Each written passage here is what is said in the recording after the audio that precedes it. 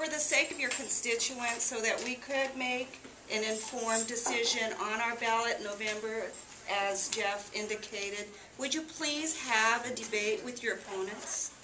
Like, like me. Like uh, Jeff No, and. Delia are both running against you, but we don't know how all three of you stand on issues. So would you please, for the sake of your constituents, allow my- us There's, to my, have there's my campaign We manager have back talked with there.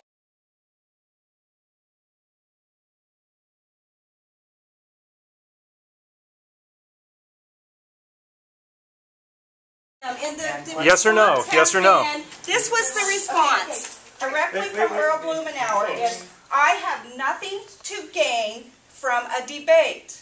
Please, let your Not true. constituents make Not that true. decision. And if there is something like the City All I Club, beg is for a debate. League of Women You were Voters,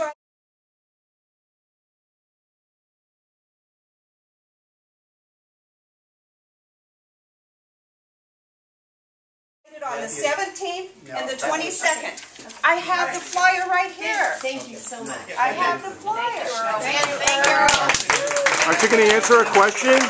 Aren't you going to answer a question? Yeah, the invite said Delia. Where are you going? Aren't you going to answer a question? Where are you going? Where are you you going? Where are you running away? Why are you running away? It doesn't matter. Delia has talked to Earl. Where are you guys going? Where are you and going? his response was, I have nothing to gain.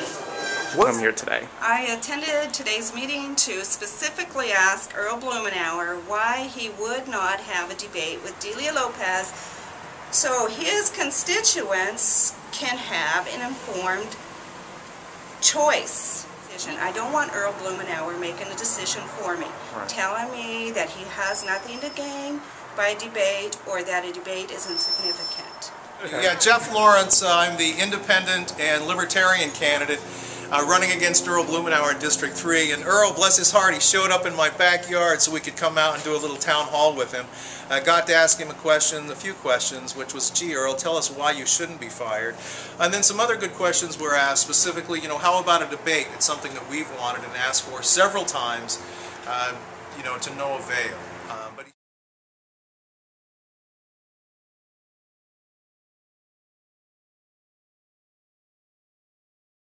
Answer a question. Where are you going? Where are you going? Where are you running away? Why are you running away?